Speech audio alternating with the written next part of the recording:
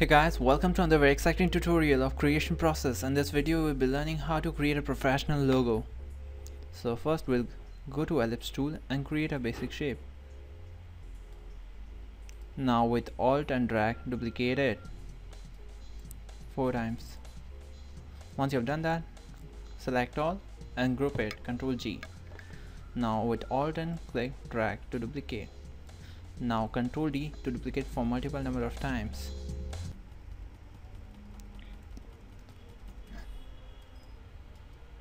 Once you have done that select all and group it control G. Now go to Windows and open symbols. We'll convert this into symbol so to convert this uh, object into symbol just click and drag it inside there and name it P-A-R-T-I-C-L-E-S particles and click OK. You see that it's here. Now you can delete it now next step what we'll do is we'll take a rectangle and make a cuboid now go to effect 3d and revolve. And 3d revolve you can uh, make a cylindrical shape of any shape. For example if you preview it you can see there is a cylindrical shape. Cylindrical shape. So what we need to do is we will go to ma map art and just make it invisible geometry. And you can see this surface. We need the surrounding surface. So click here.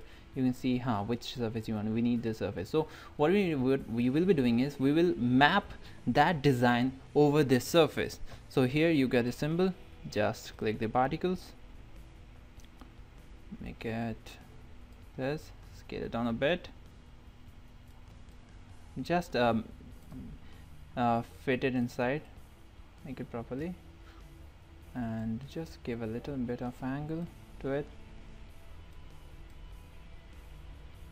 Once you've done that click OK. Now rotate this cube to an angle.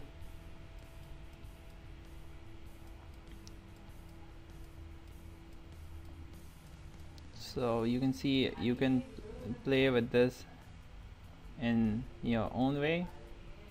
Click here. You can adjust the perspective. Play with this little bit of perspective. Okay now once you have done that uh, click. And before that go to art map and make shaded artwork solver.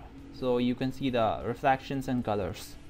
And after that click ok once you have done that go to object expand or expand appearance and ungroup it. You can see it's group until uh, you have to ungroup it to now once you have done that this part is separate and this part is separate. So what we do is I'll select this part alt and drag duplicate it kept it here and scale it down a bit and uh, just adjust it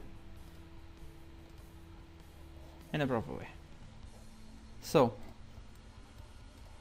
once you've done that just scale it a bit and scale it down and put it here. It should like uh, it should look like it's on the back back side. So it should be a little bit smaller. Once you've done that this much is done. You can uh, either group it and take the text. And I see nice give some dark color. Maybe dark color dark tone of blue from here. And uh, adjust the color little bit of darkness. Uh, let's take some fresh color. Okay. Once you've done that just place it below. And this is how you can create a nice uh, 3d logo using the 3d tool so uh, don't forget to check out the new tutorials coming up. Thank you very much